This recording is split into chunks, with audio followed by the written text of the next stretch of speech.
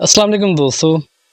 दोस्तों, आपको बहुत बहुत मुबारक। पेट्रोल की कीमतों में एक बार फिर से इजाफ़ा कर दिया गया है।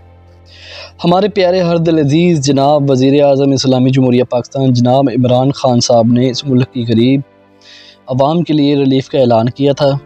आपको पेट्रोल और दूसरी अशिया की इजाफी कीमतों में रिलीफ़ मिल चुका होगा। पिछले तीन साल में हमारे रियासत मदीना के दावेदार वज़ी अजम इमरान ख़ान साहब ने हर मुश्किल वक्त में इस मुल्क की गरीब आवाम को रिलीफ़ दिया है। पिछली हुकूमत में आपको सरकारी अस्पताल में फ्री इलाज और अद्वियात मैसर थी। लेकिन खान साहब ने हमें ये सिखाया कि आपको ख़ुद कफील होना चाहिए। सिर्फ़ हमारी खातर अद्वियात की कीमतों में इजाफा किया गया। चीनी, आटा की कोई कोई ऐसी अशिया नहीं छोड़ी गई जिससे हमें इस बात का एहसास हो कि हमें एक गरीब कौम है। हमारी हुकूमत और पाक फ़ौज एक पेज पर हैं।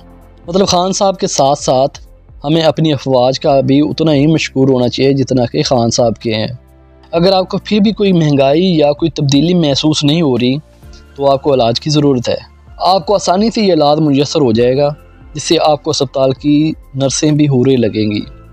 आपको रोज़ाना एक ख़ास किस्म की अद्वियात की ज़रूरत है, जो कि खान साहब बारे में अक्सर बताई जाती हैं कि खान साहब वो अद्वियात लेते हैं।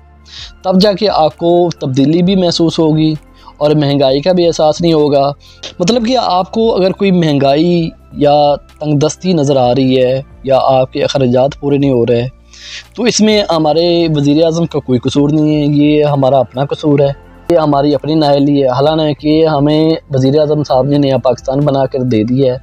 तो दोस्तों, आप ये तब्दीली के मज़े ज़रूर उठाएँ और इन्जॉय करें।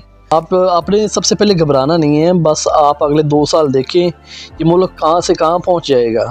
दोस्तों, अगर हम बाइकिया ऊबर करीम किसी भी ऑनलाइन कैब सर्विस या ऑनलाइन टैक्सी की बात करें तो जनाब, हमारी ये डिमांड होती है जी किराया बढ़ाया जाए। तो दोस्तों, आप अच्छी तरह समझ सकते हैं, ये नया पाकिस्तान है।